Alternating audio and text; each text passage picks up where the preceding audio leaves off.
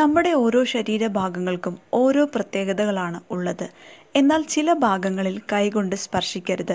അത് ആരോഗ്യത്തിന് അത്ര നല്ലതല്ല. എന്നാൽ അത് പലർക്കും തിരിച്ചറിയണമെന്നില്ല.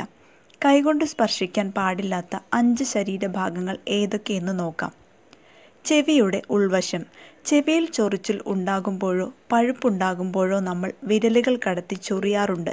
എന്നാൽ അത് ചിലപ്പോൾ അപകടകരമായ അവസ്ഥയിലേക്ക് എത്തിച്ചേക്കാം.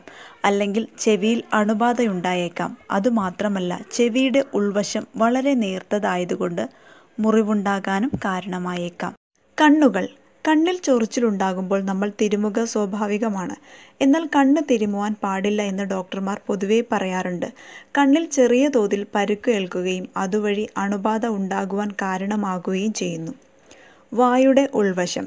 പഠനങ്ങൾ പറയുന്നത് മണിക്കൂറിൽ ഒരാൾ ഇരുപത്തിമൂന്ന് ഇരുപത്തിനാല് തവണയെങ്കിലും വായിൽ കൈയിടാറുണ്ടത്രേ അതുവഴി കയ്യിലുള്ള അണുക്കൾ വായിലെത്തുകയും പലതരം അസുഖങ്ങൾക്ക് കാരണമാവുകയും ചെയ്യുന്നു.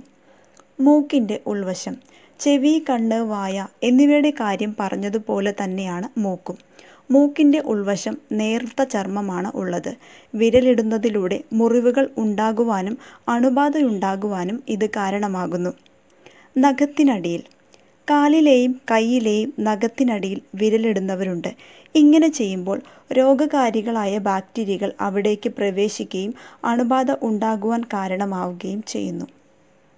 ഈ വീഡിയോ നിങ്ങൾക്ക് ഉപകാരപ്രദമെന്ന് തോന്നിക്കഴിഞ്ഞാൽ പ്ലീസ് ഈ ചാനൽ ഒന്ന് സബ്സ്ക്രൈബ് ചെയ്ത് സപ്പോർട്ട് ചെയ്യുക. തുടർന്നും നിങ്ങൾക്ക് വീഡിയോസ് ലഭിക്കുവാനായി ബെല്ലൈക്കൺ കൂടെ എനേബിൾ ചെയ്യുക. താങ്ക്